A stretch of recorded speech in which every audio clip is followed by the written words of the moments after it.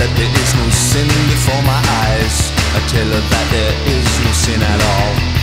All is love and a perversion of that which was once love.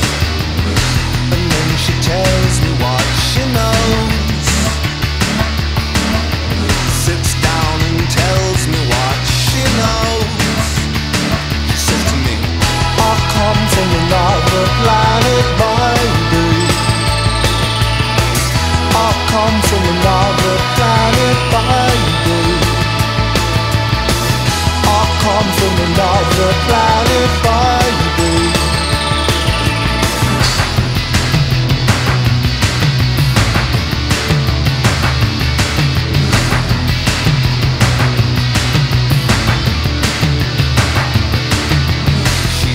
there's no light right between my eyes. Is it just a disguise or am I Cyclops? A thing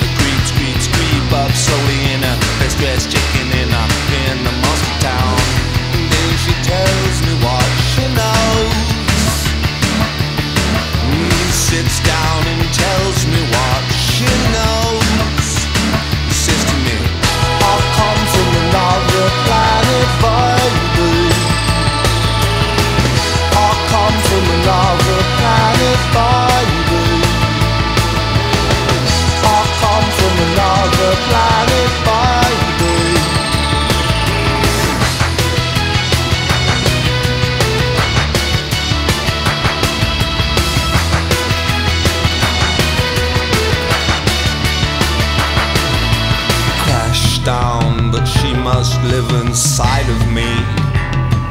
Oh, but I